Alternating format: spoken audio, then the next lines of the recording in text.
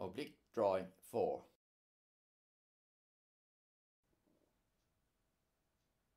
This is the solid we're using this time. It's the same two pieces of timber but assembled different than the last time.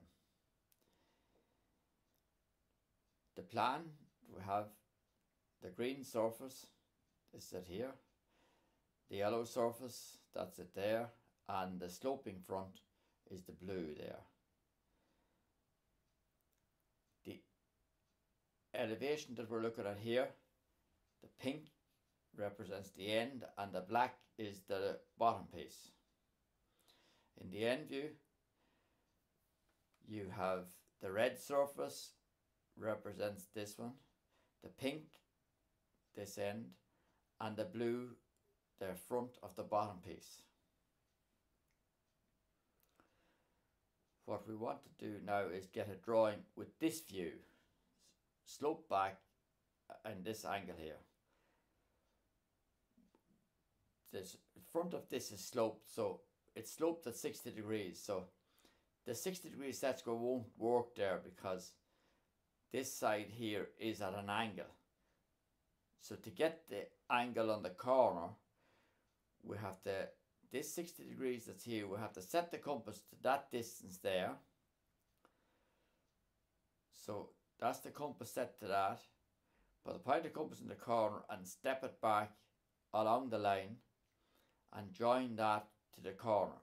And that's your 60 degree angle in this view. Now draw that line across the top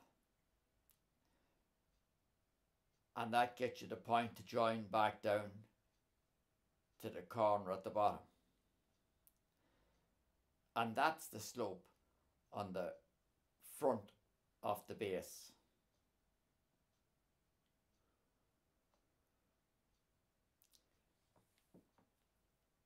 So that's the end there, which is the black surface there. And that cut there is the 60 degree angle there in oblique. Now the top piece is cut at 60 degrees, 60 degrees here, but again we cannot use the set square. The set square won't work because it's at the wrong angle. If I turn it down like this, it's at the wrong angle. So again, it's a case of work with measurements. So square off the piece here as if it wasn't cut at all. Now that leaves the corner of the piece before it was cut. Set the compass now from that corner back to the cut. And from the corner at the front here mark it along this line. And join that point then back to the back corner at the top. And that's your 60 degree line there bring that point down to the bottom line there and that gets you the point to be joined back now. And that's the solid complete.